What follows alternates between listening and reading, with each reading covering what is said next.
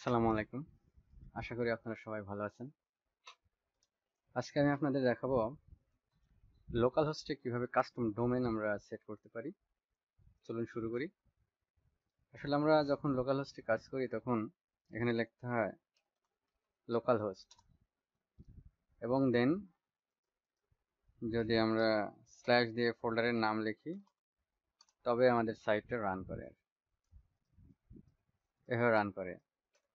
তো আজকে দেখাবো আপনাদের কীভাবে ওটা লোকাল হোস্ট না লিখে আমরা নিজেদের ইচ্ছে মতো কাস্টম ডোমেন বা কাস্টম নাম দিয়ে কীভাবে আমরা সেট করতে পারি। তো প্রথমে আমাদের একটা সাইট যে সাইটে আমরা কাজ করব, এটার জন্য একটা ফোল্ডার ক্রিয়েট করতে হবে। আমি আপনাদের দেখাচ্ছি এক্সাম পিপিতে অবশ্যই এক্সাম পিপিতে কাজ করার পূর্বে আপনাকে ফার্স্টে এটা রান করে নিতে হবে অ্যাপাস এবং মাইস্কেল তো প্রথমে আমাদের একটি ফোল্ডার তৈরি করতে হবে আমাদের যে ওয়েবসাইটের নাম দেবো, সেই ওয়েবসাইটের নামে।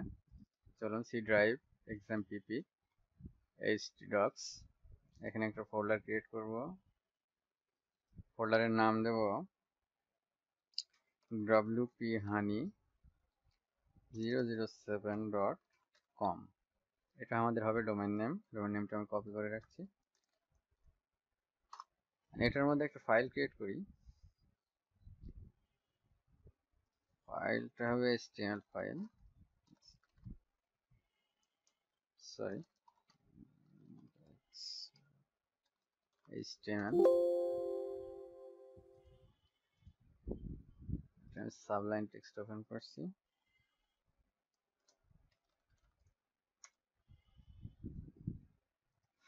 এটাই হবে HTML স্ট্রাকচার এইচ ওয়ান এটা লিখে রাখলাম সেভ করলাম। এখন ডোমেনটা সেট করব। প্রথমে আমাদের ডোমেন সেট করার জন্য যেতে হবে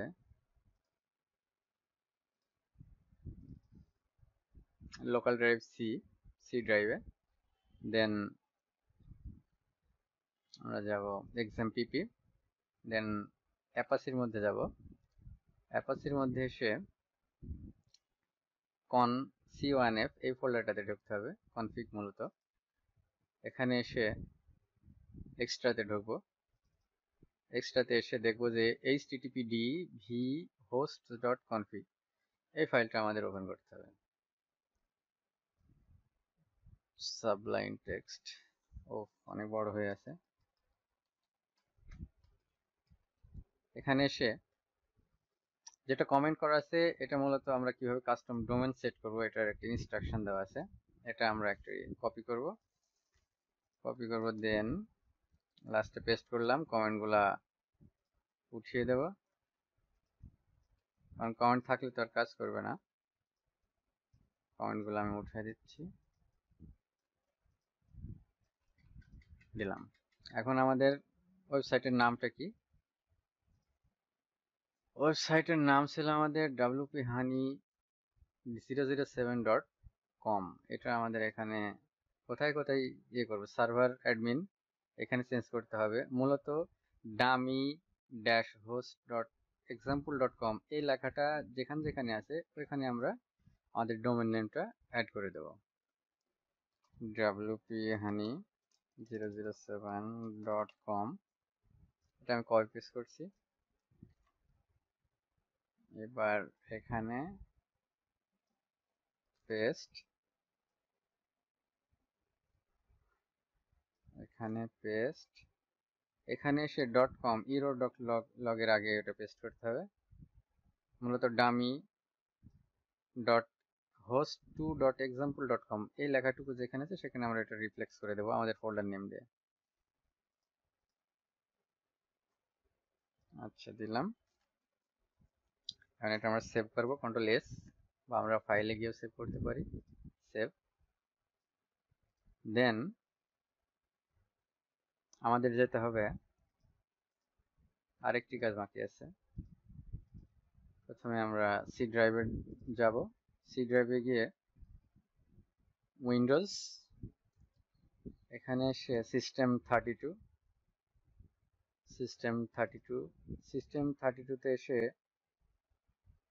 দেখব যে ড্রাইভার কোথায় আছে? ড্রাইভার ফোল্ডারটা ড্রাইভার ফোল্ডারের মধ্যে আসব। ড্রাইভার ফোল্ডারের মধ্যে এসে আমরা ইটিসি যে ফোল্ডারটা আছে, এখানে আসব।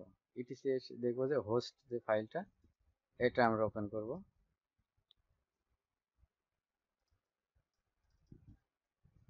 হোস্ট ফাইলের মধ্যে আমাদের লোকাল হোস্ট যেটা আছে, এটা আমাদের সার্ভারের আইপি লোকাল সার্ভারের আইপি এই আইপিটা মূলত লোকাল হোস্টের জায়গায় আমরা রিপ্লেস করে দেবো, আর আমাদের ডোমেন নেমটা পেস্ট করলাম।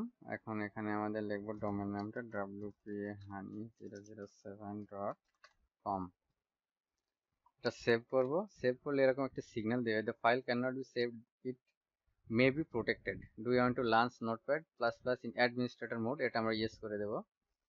নো করে দিলে কাজ করবে এটা ইয়েস করতে হবে। দেবে তখন আমরা ইয়েস করব।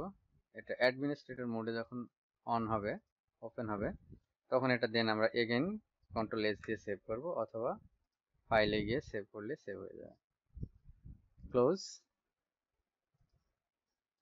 দেন ব্রাউজারে আসব। ব্রাউজারে এসে আমরা আমাদের ডোমেন নেমটা টাইপ করব। দেখব দেখব যে আমরা এটা কাজ করছে কিনা। W P honey zero zero seven dot com wow হ্যাঁ এটা কাজ করছে। আমাদের ডোমেন নেমটা আমরা অ্যাড করতে পেরেছি।